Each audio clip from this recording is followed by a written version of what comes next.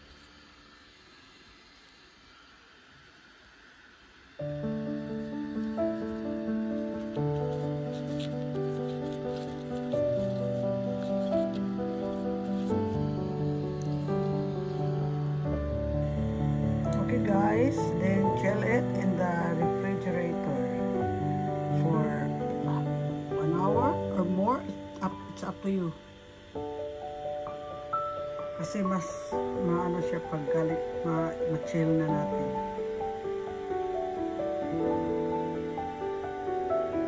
Okay guys, tikiman time na guys. Matikman na natin ito. Galing na ito guys sa ref. Inano ko siya um, mga 1 hour. Tag-chill ko siya. Then now, time na natin nating tikman.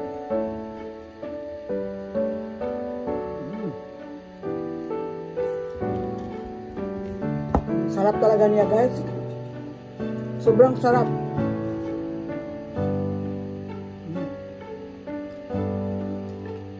Mag-try kayo guys sa recipe.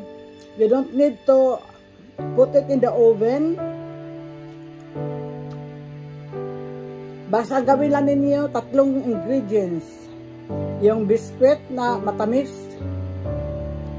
Yung tatlong saging. Ang ginawa ko guys, 500 grams na biscuit guys ang aking ginawa. May tatlong saging at saka yung desiccated coconut. Yun lang. At sobra talagang sarap. Ah, wala akong habi. Okay guys. Don't forget to like, share, make a comment, and don't forget to subscribe.